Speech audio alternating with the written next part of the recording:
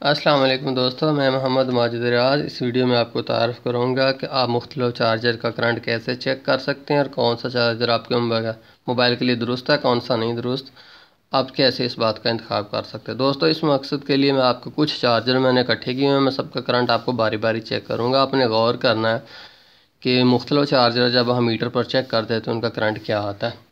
تو دوستو، یہ میرے پاس ایک اے سی سورس ہے اے سی کرنٹ ہے۔ اس میں یہ ایک میرے پاس میٹر ہے۔ اس میں دیکھیں، یہ ایک لیمپ لگا ہوا ہے، چھ وولٹ کا۔ اور یہاں ایک میٹر ہے جو بتائے گا کہ کرنٹ کتنا آ رہا ہے۔ تو سب سے پہلے ہم آدھے امپیر کا چارجر لیتے ہیں، اس سے ہم چیک کرتے ہیں کہ کتنا کرنٹ میٹر پر آتا ہے۔ یہ نا دوستو، یہ ایک آدھے امپیر کا چارجر ہے، اس سے ہم چیک کرنے لگیں اس کو سب سے پہلے ہم اے سی سورس میں لگا دیتے ہیں۔ اس کے بعد اس میں ہم ایک یو ایس بی کیبل لگائیں گے۔ اب ہم اس کو یو ایس بی کیبل کو میٹر میں لگاتے ہیں تو دیکھتے ہیں کہ کتنا کرنٹ آتا ہے۔ دیکھیں دوستو، اس کا کرنٹ آیا تین اشاریہ ایک اور لیمپ کی روشنی بھی بہت کم ہے۔ اب ہم اس چارجر کو ہٹاتے ہیں اور اس کی جگہ دوسرا چارجر ایک امپیر کا لگاتے ہیں۔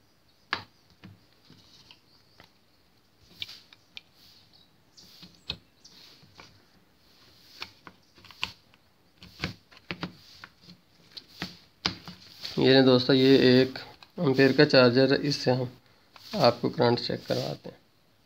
دیکھیں، وہ تین اشاریہ، ایک دو پر گیا تھا، یہ دیکھیں یہ چار اشاریہ چھ تک چلا گیا۔ اس کا مطلب اس کا کرنٹ زیادہ ہے، اس سے زیادہ جلدی چارجنگ ہوگی۔ تو لیمپ بھی دیکھ لیں کتنا زیادہ روشن ہوا ہے۔ تو اب دوستو، ہم دو امپیر کا چارجر آپ کو چیک کرواتے ہیں۔ یہ دیکھیں دوستو، یہ ایک دو امپیر کا چارجر ہے۔ اس کو بھی ویسے ہی ہم اے سی سورس میں لگاتے ہیں اے سی سورس میں لگانے کے بعد ہم اس کو یو ایس بی کیبل لگاتے ہیں۔ یو ایس بی کیبل لگانے کے بعد ہم اس کو اس کی تار اپنے میٹر میں لگاتے ہیں۔ تو دیکھیں۔ دیکھیں۔ پانچ ولڈ پر پہنچ گیا نا، اس سے زیادہ کرانٹ ہے نا۔ تو اب یہ چارجنگ اس سے بھی تیز کرے گا۔ چلیں۔ دوستو، اب میں آپ کو اوریجنل سامسنگ کا چارجر چیک کرواتا ہوں کہ اس کا کتنا کرنٹ ہوتا ہے۔ یہ دیکھیں دوستو اوریجنل سامسنگ کا چارجر اس کو میں اسی سورس میں لگایا اور اس کو میں نے پھر لگاتا ہوں۔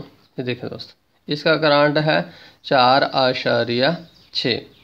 یہ چار اشاریہ چھ یہ اس لیے ہے کہ اس کی تار بہت لمبی ہے۔ اگر تار بالکل چھوٹی ہوتی، جیسے میں نے پہلے والی آپ کو دکھائی تو اس کا بھی پانچ وولٹی ہونا تھا۔ یہ میں فرق آپ کو ابھی واضح کرتا ہوں۔ کہ یہ تار کس طرح کرنٹ پر اثر انداز ہوتی ہے۔ اچھا یہ دوستو، یہ ایک این سیونٹی چارجر ہے۔ اس کا بھی میں آپ کو وولٹیج دکھاتا ہوں کتنی ہوتی ہے۔ اے سی سورس میں لگایا۔ یہ پن لگاتے ہیں ادھر۔ دیکھیں، اس کا کرانٹ تقریباً تین اشاریہ نو یا چار وولٹ کے قریب آ رہا ہے۔ تو دوستو، یہ ڈیوائس ہے۔ اس میں ہر طرح کے آپ چارجز چیک کر سکتے ہیں۔ میں اس کو آپ کو تعارف تھوڑا سا کروا دوں۔ اس میں یہ دیکھیں وی تھری چھیاسی سو این سیونٹی تینوں جیک لگانے کی گنجائش ہے۔ اوپر ایک تار ہے۔ اگر بیٹری آپ نے ڈائریکٹ چیک کرنی تو ادھر آپ لگائیں گے۔ ادھر اس کے ایک لیمپ ہے۔ لیمپ کا مقصد یہ ہے کہ لوڈ ڈلے۔ کافی جو پیچھے چارجر ہے اس پر۔ لوڈ ڈلنے کے بعد ولٹیج کا پتہ چلے۔ یہاں میٹر ہے، اس کے اندر ولٹیج ہے یہ سارا یہ خود ڈیزائن کیا ہو۔ آپ بھی یہ دونوں تینوں چیزیں خرید کر مارکیٹ سے۔ خود اس کو ڈیزائن کر سکتے ہیں، بڑا سمپل اچھا دوستو، اب دیکھیں آپ کہ یہ میں نے ایک امپیر کا چارجر لیا۔ اب میں اس کو لگاتا ہوں ایک کیبل اور اس کا آپ کو کرنٹ چیک کر کے آپ نے دیکھنا ہے کرنٹ کتنا دیکھیں بھائی۔ چار اشاریہ چھ ذہن میں رکھنا۔ ہے یہ چھوٹی سی کیبل ہے۔ اب میں اس کیبل کی جگہ لمبی کیبل ڈالتا ہوں۔ پھر دیکھنا آپ نے۔ یہ دیکھیں۔ لمبی کیبل ڈالی چار اشاریہ چھ تھا نا۔ اب لمبی کیبل ڈالنے کے بعد ہم دیکھتے ہیں وہی چارجر، وہی ہر چیز، وہی ہے۔ صرف ہم نے کیبل بدلی ہے۔ دیکھیں دوستو، چار اشاریہ دو۔ کیبل جو ہے وہ کرنٹ کے اوپر بہت اثر انداز ڈا ہوتی ہے۔ جتنی آپ کیبل لمبی ڈالتے جائیں کرنٹ اتنی کم ہوتا جائے گا۔ تو اس لیے کیبل کبھی اتنی لمبی نہ ڈالا کریں کہ ہم نے ابھی یہ لمبی کیبل ڈالنی ہے، ابھی دور تک ہم لیٹے ہوں تو پھر چارجنگ ہو جائے۔